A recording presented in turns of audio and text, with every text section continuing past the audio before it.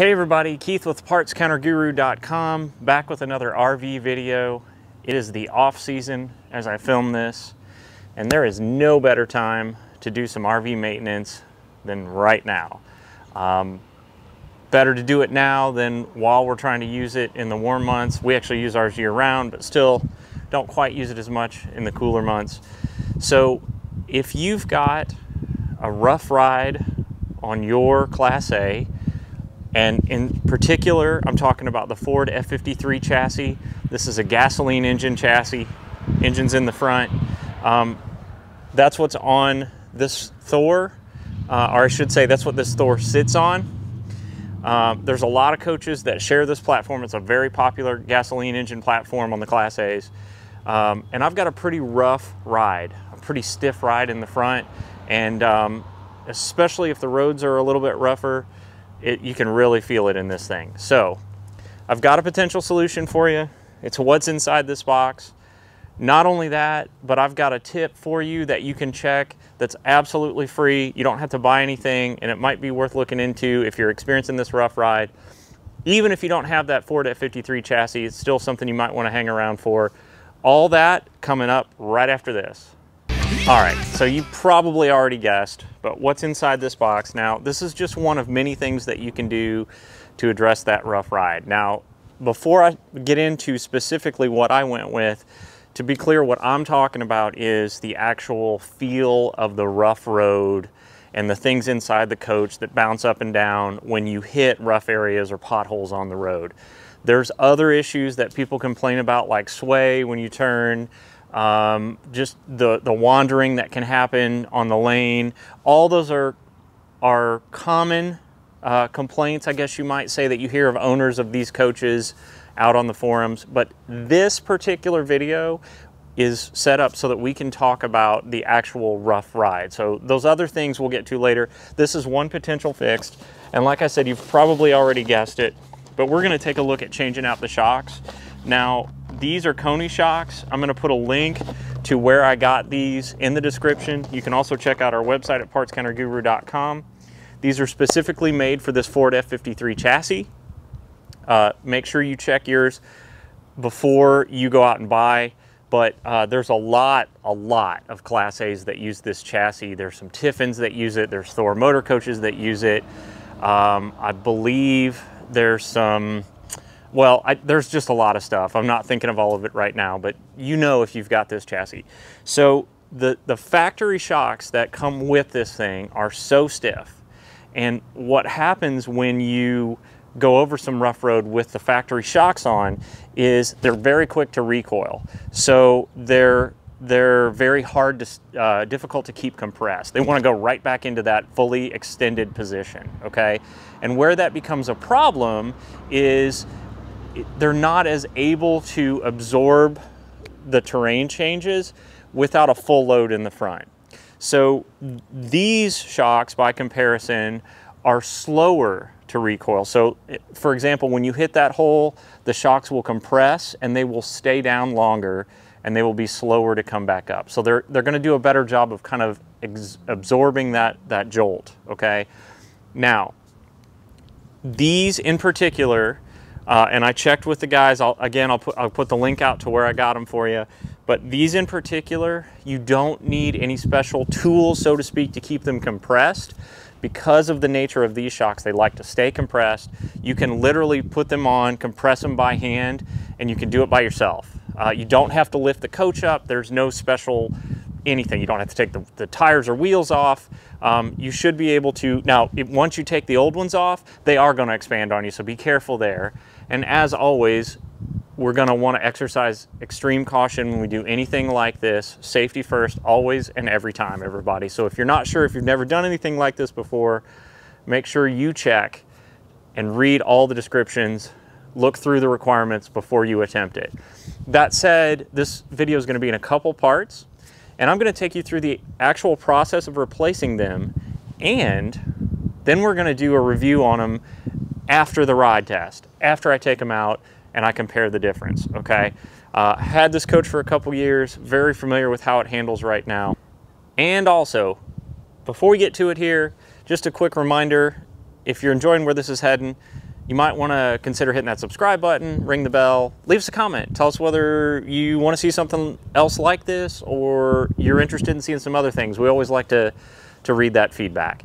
So, um, without further ado, let's get to it. All right, so I'm actually going to take you around and show you if we can get good enough lighting here inside the coach. It's pretty dark, but you can see there is the top of my existing shock, right?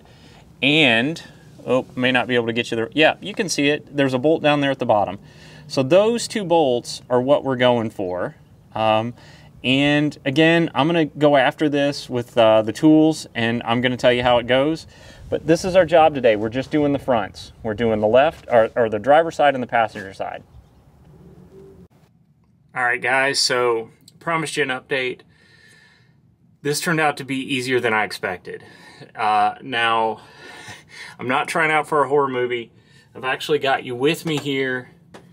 I'm kneeling up inside underneath the front. So you can see right here is the wheel, right? And this is the shock mount right here, if I can get my light in position. Um, this is the shock mount right here on the low side and there it is on the high side. So I've got this completely out. Now, here are, here were my biggest challenges, and these are things that you're probably going to have to watch out for. Uh, again, coach is about two years old, mentioned that. Um, I figured the bolts would be a little rusty and seized because I've driven it in the rain, and that's going to happen. And that was true, but it wasn't too bad. Um, I used a half inch socket. I used an adjustable wrench and I used a breaker bar to get things loose. And I was able to do it by myself, and um, it wasn't bad. You can put a little PB blaster on them, or sorry, P, P blaster on them first if you're worried about that. It's not a bad idea. And then the other thing that I'll mention is these were standard sock, standard, you know, SAE sockets. And mine was a 1 and 3 16ths to break it loose. Now, that's the nut size and the bolt head size. They were both the same. So I got this one off in about 10 minutes. Not bad at all. I'm about to put the new one on in its place, and then we'll check status after I get them both done. Hey everybody, it's follow-up time. Just wanted to come back to you after having put those shocks on and putting about a thousand miles of drive time, uh, drive distance on it. So, couple things to note. Number one, um, the porpoising or the swaying left to right is so much better, and that's sort of an unexpected benefit. I didn't expect uh, to get that benefit out of it. As far as the stiffness in the ride, it is better. Um, it's not as improved as I had hoped, but it is definitely better than the factory shocks that were on it. Would I do it again? Yeah, for the for the price, I probably would. Another benefit that I experienced with it is the ride inside is less rattly. So uh, things don't vibrate as much, uh, cabinetry, desk space, that sort of stuff, dash space, it's quieter. So that's a really nice benefit. Now, something that I had mentioned at the beginning of this video that you could do that didn't cost you anything and it was well worth the effort and it would probably speak to the smoothness of your ride, regardless of what kind of chassis you're riding on in a motorhome, is, here it is, you ready for this? Check your tire pressure. Now, I know that sounds crazy, you've got a sticker inside, I've got a sticker inside. Let me show you what I'm talking about when I talk about that sticker. Okay, so in almost all coaches, you're gonna have a sticker somewhere and it's going to have recommended tire pressure. Now, shouldn't matter if it's a Class A or a Class C or even a Class B. The Class Bs might have them in a little bit different place, like, for example, in the door jamb, but they've got to have uh, a sticker that has the recommended tire pressure. Now, in my case, this is a Class A. It's a Thor on a Ford F-53 chassis. We've already established all that. Right here, on the on the sidewall, right above, right below my window, I've got my recommended tire pressure weights. Now, in my case, I've got a dual in the back on the rear axle. I've got dualies, and then I've got a single on the front. And it's got recommended tire pressures for both of those scenarios. Thor on on this coach is recommending 100 psi per tire for all tires. Okay. When I went to the manufacturer's website for the tires that I have, I found a chart, and that chart showed me based on the weight what the recommended tire pressure should be. Now, here's the key. You need to weigh your coach. This is a good safety thing to do anyway so that you're not overloaded because that's a very dangerous situation. And it can be as simple as just finding a cat scale. Uh, a lot of truck stops have them. There's an app you can load on your phone. It's super simple. I never even had to get out of my coach. I drove up to the cat scale at a truck stop, pulled open the app, parked on the designated spots, and hit the little button, and I got my weights. Okay.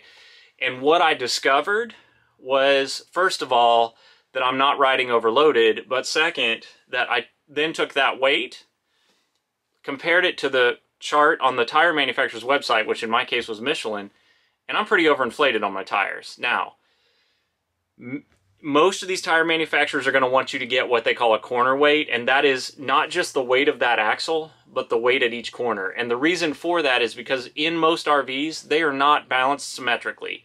For example, you might have a bed that's on one side of the coach and nothing to counter that weight directly across from it or your water holding tank may be full and it may be sitting on one side of the coach, right, and not in the middle. So if you call the cat scale location in advance, a lot of them will have you park in a certain way on the scales where you can actually get corner weight. Might cost you a little bit more to do that because technically they're taking more weight measurements than you would if you just drove up on the scale. In my case, I just drove up on the scale and it cost me $12 and it was well worth it. But here's the key go look up your tires, get the information off your sidewall, take a picture if you need to, take that to that tire manufacturer's website, and then look up what they recommend for tire pressure. The reason for that is because if you just go by the sticker, that sticker doesn't know the exact weight of your coach. But if you carry the exact weight of your coach to the chart that you can find on the tire manufacturer's website, it's going to give you a better recommendation. In my case, it was recommended that I be between 75 and 80. Um, actually, at my weight rating, which was a little bit below my gross uh, vehicle weight ratio, I could have gone 70. The sticker over here says 100. So I was roughly 30 pounds overweight, or I mean over pressure, right? So hopefully you see where I'm going with this. If you've got those tires inflated to the point that they're that stiff, and you don't need all that extra pressure, a couple things are going to happen. You're going to probably have a bumpier ride. You're going to have a stiffer ride. And you can actually wear the center line down that tire, down that tread prematurely because the tires are overinflated, right? N may not be a bad idea to go check the tread while you're looking at the tire. Make sure it's even across all the way across the tread, right? If you have access to a tread depth gauge, not a bad idea. Those are pretty cheap, $10, $15. Check it if you're seeing wear on the outsides more so than in the center, it's probably under uh, underinflated. If you're seeing wear right down the middle, you're probably overinflated. But here's the key, guys, and this was the, the, the best free tip you're going to get today. Go to that tire manufacturer's website and look at their recommendations based on those weights or corner weights. Inflate based on that, and you're going to have a better, more optimal ride than you would by just going by that sticker.